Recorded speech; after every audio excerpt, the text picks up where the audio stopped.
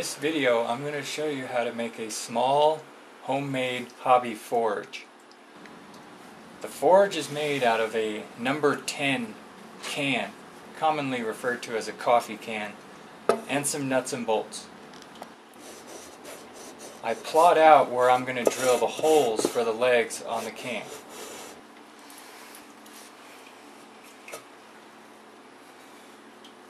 Here you can see I've drilled the holes and installed the legs. I plot a mark where the burner will enter the casing. I center punch the mark and then drill.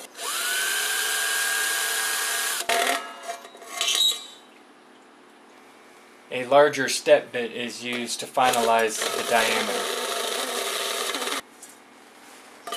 A quick test fit of the burner looks good. With this odd pipe you could see how the burner is going to enter the forge. This is perlite. It's a very interesting material. It's an expanded rock.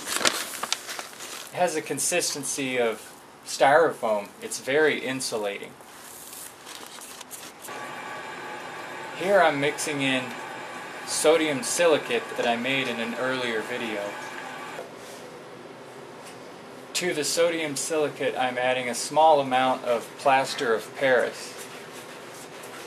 The plaster of Paris serves as an accelerator by competing for the excess moisture, it will set up quicker. Here I've added the perlite and I mix until I get a consistency of wet sand. Then you just plop it into the bottom.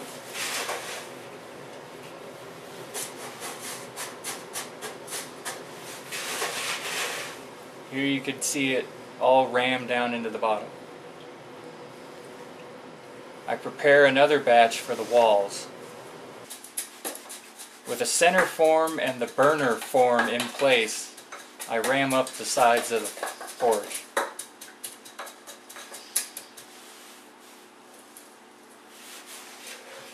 Each layer is a small batch because with the addition of the plaster, this stuff sets up fairly quickly.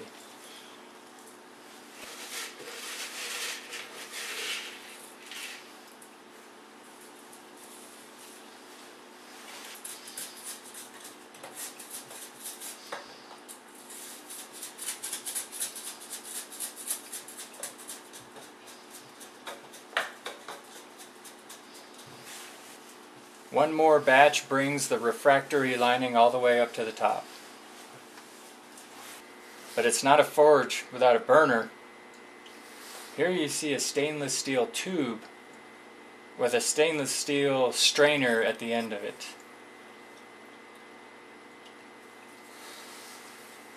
That piece of strainer was cut from a sink drain strainer cup similar to this one.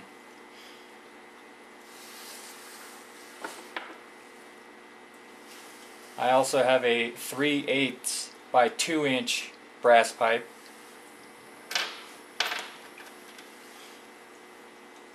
A threaded ring to hold the brass pipe centered in the stainless steel one.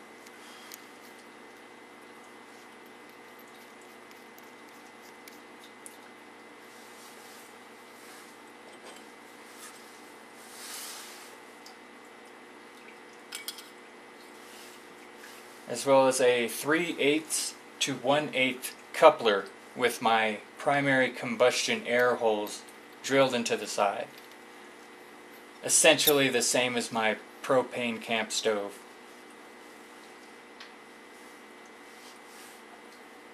This assembly then slides into the stainless steel tube. However, I plan on updating this design slightly here in just a moment. Here you could see the orifice, which is a 1 8 NPT plug with a hole drilled in it, a 1 8 coupler, and a 1 8 hose barb.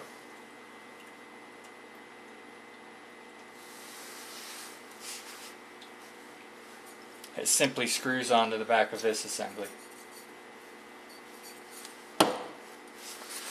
The stainless steel tube is actually this apple coring tool I got for about $4. After cutting off this plastic piece, you're left with a nice large stainless steel tube. And I'm going to be using this entire length Here it is assembled with the longer, newer tube, and it burns much better.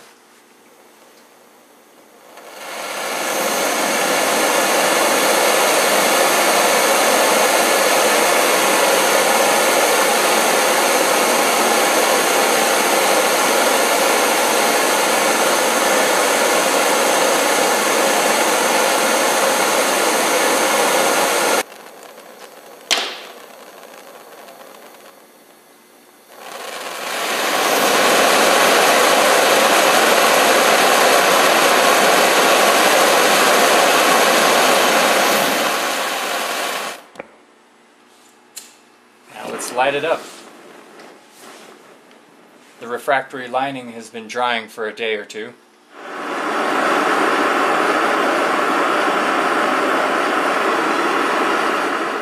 As you can see, the forge heats up very fast.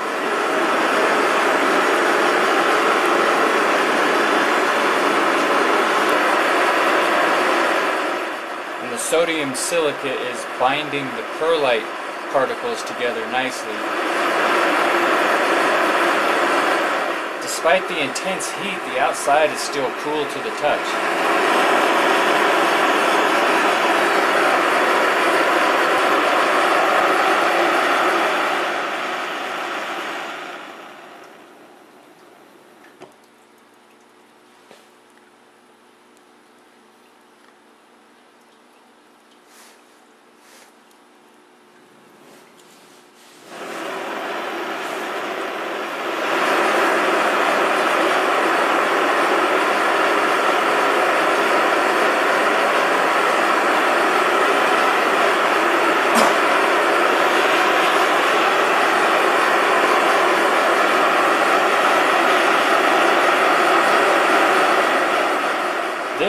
Forge can be used the way it is, however, I chose to seal the perlite with a special cement that I'm going to make now. This is sodium silicate. Aluminum oxide sandblasting abrasive and magnesium silicate, also known as baby powder.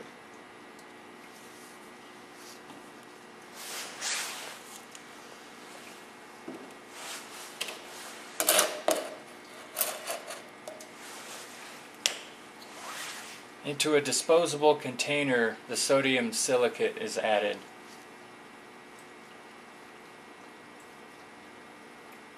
I'm not measuring anything, I'm just kind of going by consistency.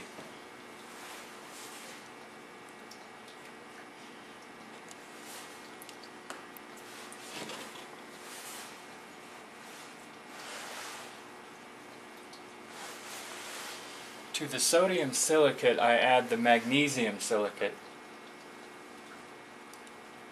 I tried to find unscented talcum powder, but couldn't, so this reeks like baby powder.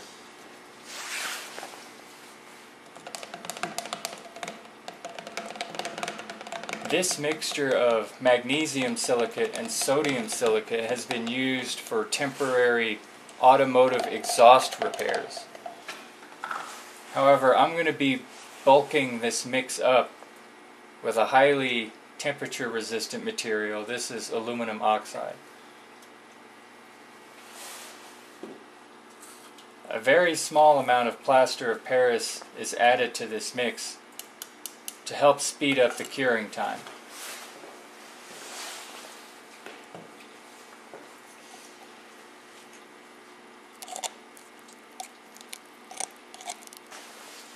Now that my high temperature cement is mixed, I simply spread it onto the surface of the refractory lining. It's about the consistency of cake frosting in a similar process.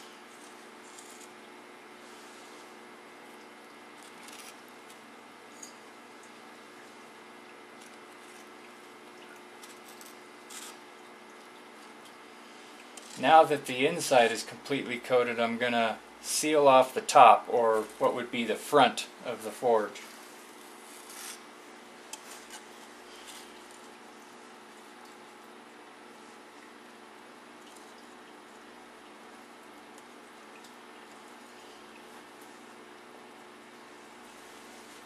Smooth it all off and wait a couple days for this to cure.